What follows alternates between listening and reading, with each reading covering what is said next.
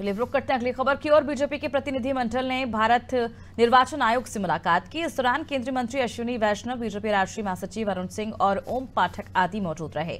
वहीं केंद्रीय मंत्री अश्विनी वैष्णव ने बताया कि हमने भारत निर्वाचन आयोग से निवेदन किया है कि हाई लेवल अपार्टमेंट में बूथ बनाया जाए, जिससे ज़्यादा से ज़्यादा लोग मतदान करें। पचास फ़ीसदी से ज़्यादा, सौ फ़ीसदी कैमरे लगाए जाएँ, जिससे उस एरिया की निगरानी हर पल की जा सके। हमारे इस डेलीगेशन ने, भारतीय जनता पार्टी के इस डेलीगेशन ने इलेक्शन कमीशन से मिलके कुछ रिक्वेस्ट किए हैं।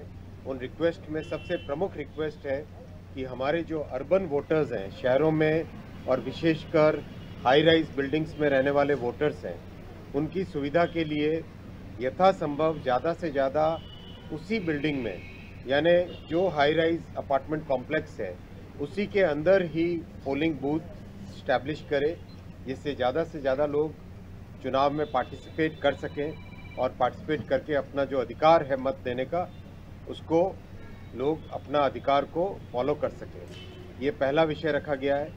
दूसरा रिक्वेस्ट हमने इलेक्शन कमीशन से किया कि जो अभी 50 परसेंट बूथ पे वीडियो रिकॉर्डिंग करते हैं, उसको 100 परसेंट बूथ्स पे वीडियो रिकॉर्डिंग करें, जिससे कि हर चीज़ के प्रॉपर डॉक्यूमेंटेशन रहे और हर एक वोटिंग प्रोसेस का एक प्रॉपर रिकॉर्ड रहे और जो हमारी देश की जो वाइब्रेंट डेमोक्रेसी है, ये वाइब्रेंट डेमोक्रेसी और भी उसको लोगों का जो विश्वास है, वो विश्वास और अधिक हो।